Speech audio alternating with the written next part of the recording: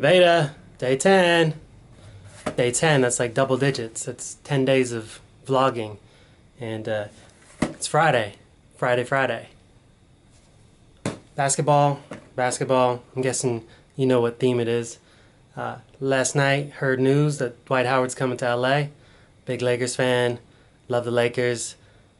We already got Nash. We almost had Chris Paul last year.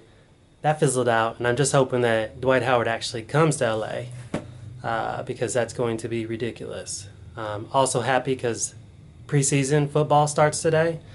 Uh, my Niners play the Vikings. Looking forward to that. A diehard Niners fan, and then Lakers. I live in Los Angeles, uh, but I've been a Niner fan forever, um, and looking forward to a great season. Like I said, basketball, Lakers should be ridiculous this year. I mean, it's like all star every night.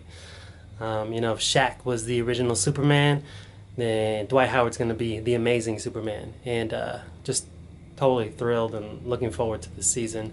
Um, I don't do baseball, so the Olympics are cool and they're kind of like the intermission to the next uh, season, you know, for basketball and football, and definitely looking forward to it. So, Dwight Howard, welcome to LA. What more can I say? Day 10, Veda. Veda.